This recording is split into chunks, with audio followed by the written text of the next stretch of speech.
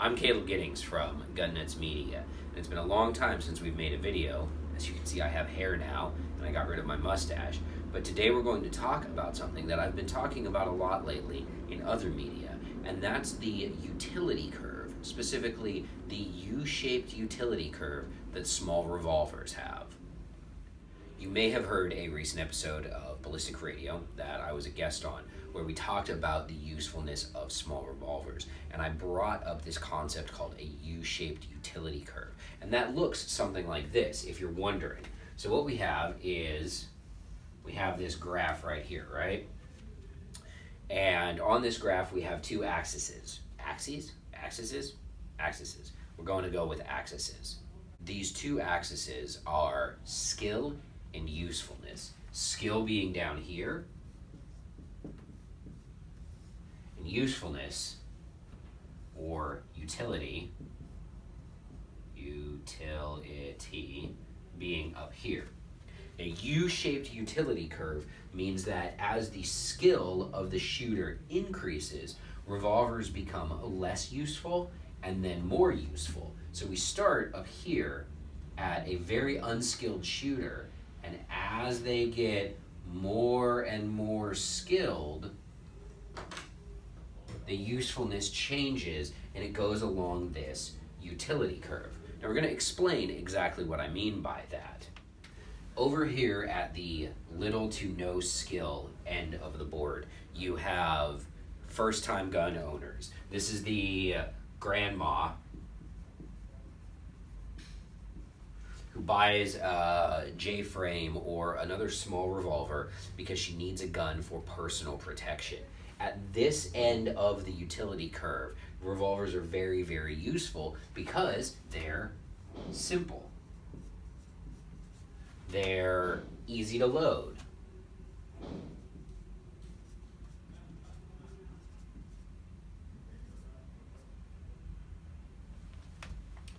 They are easy to operate.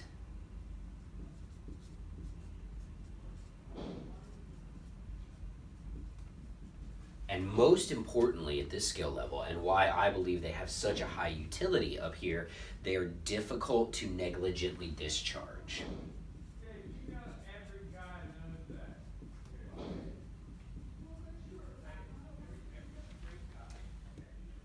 Because of these attributes at this low level of skill, the revolver is extremely useful. Now, this does make a couple of assumptions. It assumes that you have the necessary hand strength to manipulate that DA trigger. If you don't, there might be better choices. But for the extreme novice, extreme neophyte shooter, the revolver at this level makes a whole lot of sense because it is very simple, it is very easy to load, it is very easy to operate, and again, it's very difficult to negligently discharge because this is a this is a real concern for new shooters who aren't going to seek out training.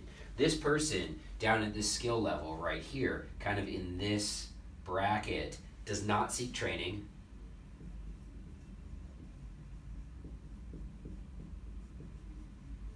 They don't go to the range.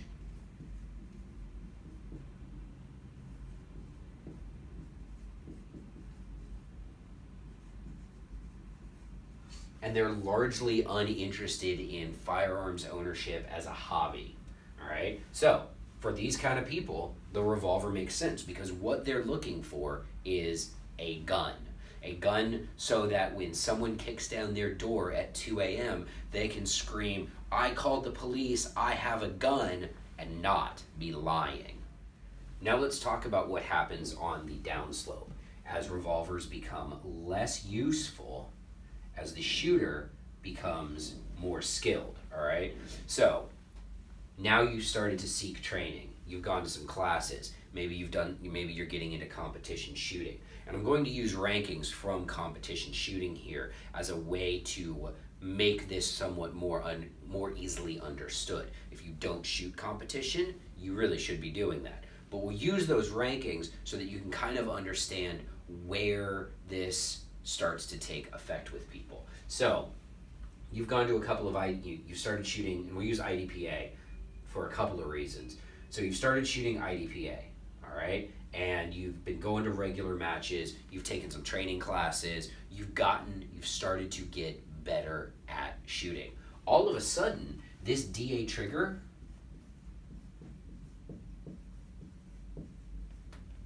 becomes a real problem. It really does.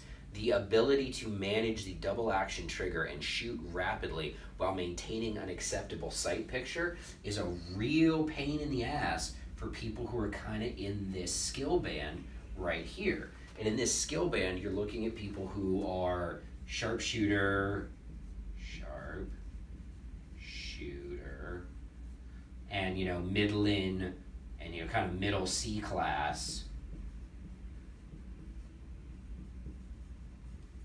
USPSA shooters, all right? So sharpshooter, IDPA shooter, kind of a middle C class USPSA shooter. This is where this DA trigger management and managing a DA trigger while firing rapidly becomes a real problem for these people. All right, these guys are going to select away from small double action revolvers for personal defense because they get much better return on their training investment with something like a Glock 43 or an M&P Shield. Because let's say you take a good shooting class every couple of years, all right? So you take, you know, one class a year and shoot five to ten matches. And maybe you dry fire once, dry fire three times a month.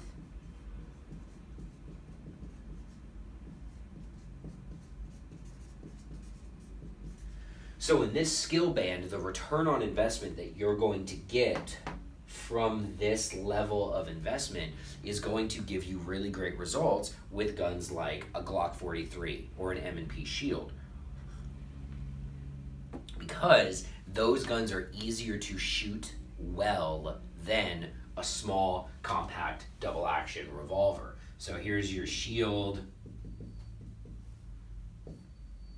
G43 dudes in this band. All right. Again, you're going to get better return on investment. So that's why the utility of these guns has started to fall off.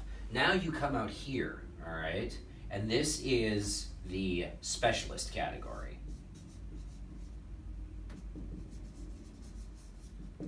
And I say specialist specifically because this isn't necessarily tied to a certain level of skill, although that's important at this level of skill, you're a, and here we're talking, you know, uh, I'm gonna say IDPA master, understanding that IDPA master is a very very big bucket that has some that can have very low talented shooters all the way up to some extremely talented shooters. All right, but from here we'll say USPSA A class and up, obviously, and IDPA masters just said IDPA, an IDPA Masters, once you kind of hit this point and your skill goes up from here, your ability to manage the DA trigger gets a lot better. You have a better understanding of managing a trigger while you're working it quickly, even in double action, even with a heavier trigger pull, because you're investing a lot more time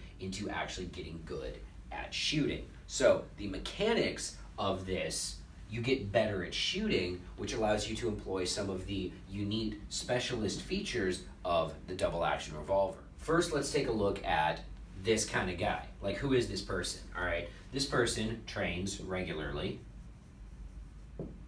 trains on the reg.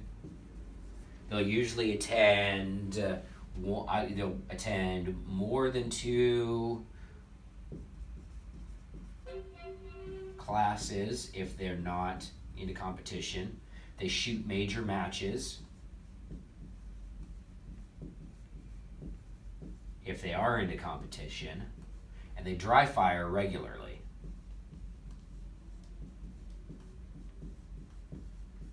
And so for these people, fire, there we go. So for these people on this end of the circuit, this investment in training time produces better results, especially with the double action trigger. And again, like I just said, it allows you to employ some of the special features of a small, lightweight revolver. Not the least of which is that they are unbelievably easy to conceal. I'm wearing a fitted shirt. It's untucked, obviously, because I work in the firearms industry and I hate tucking in my shirts. Under this shirt, I have been carrying a seven shot J frame. All right, this is one of the lightest revolvers on the planet. This is the AirLite 351 PD. It's a seven shot 22 Magnum. It's made out of, I don't know, balloon farts and space age materials. All right, it is so light and so easy to conceal. I can take this gun literally anywhere. All right.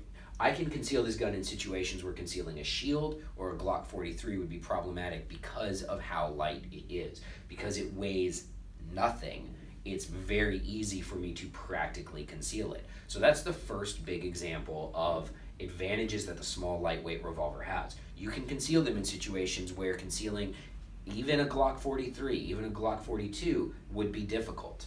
And so we have the 351 PD. The second example of specialist advantages that you get with these little guns is accuracy, okay? I know people don't think accuracy when they think small compact revolvers, but a small compact revolver is inherently more accurate than a small compact semi-automatic because the barrel is fixed to the frame. Assuming that all of the internal bits and all of the timing are done correctly at the factory, you're going to be able to get more accurate shots on target with this than you would with a similarly sized semi-automatic pistol. At this specialist tier, that matters to people. That matters a lot to people because we're going to be pushing these weapons in environments where it's going to be acting as the backup for a real gun, as it were. Or, excuse me, it's going to be acting as the stand in for a real gun. Another advantage to these small revolvers, something that we're talking about in this specialist role, is their ability to be utilized in compromised firing positions. Okay? When we talk about these little guns, what am I talking about when I say a compromised firing position?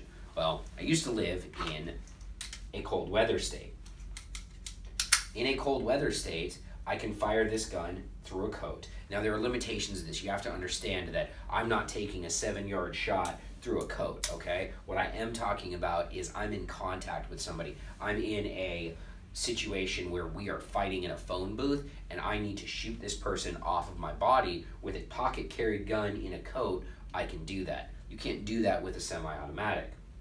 Additionally, they are far more, far, far more capable at being fired from compromised firing positions or using compromised aiming points. So my revolver has Crimson Trace laser grips on it, and that means that if I am in a situation where I cannot, for whatever reason, bring the gun up to my eye line and take a proper sight picture, I can fire from a compromised firing position, get a good sight picture because I'm using the laser as my primary aiming reference, and still get good effect on target. The guns won't malfunction when fired from compromised firing positions. They won't malfunction when fired in contact with another person, which is suboptimal, but again, something in that specialized mission set that you may need. So when we deal with these revolvers, once you reach a certain level of skill, and once you reach a certain level of specific mission need, all of a sudden the small lightweight revolvers really start to make a lot of sense. So we're going to review the video. Up here at the no skill level, revolvers make a lot of sense. They're simple, easy to load, easy to operate, hard to accidentally shoot someone with. Here, in that middle tier, and a lot of shooters will struggle their entire lives to get out of this tier, or they'll get here and they'll be happy with their skill level. And this is, to be honest, if you're a average C class shooter or an IDPA sharpshooter, you're a better shooter than 90 8% of the gun owning population. You just are. Sorry, people who can't shoot. That's a fact. In this tier, the revolver's a difficult choice. The DA trigger is going to be tough to manage. You're going to have better results from a shield or a Glock 43. And then up here, you start to get kind of good at shooting, like kind of good, not really good. Like really good is like over here with Ben Stoeger and Bob Vogel. But anyway, up in here, you get kind of good at shooting, and all of a sudden you start the revolver starts to make more sense it's more accurate You can manage the DA trigger now. You can use it in situations where a small, compact semi automatic may not make sense. I'm not trying to get anybody to switch their backup gun or their primary carry to a revolver. I just want to point out that even now, in 2018, an old piece of technology still makes a lot of sense. Until uh, next time, I'm Caleb Giddings, and remember run your gun, not your mouth.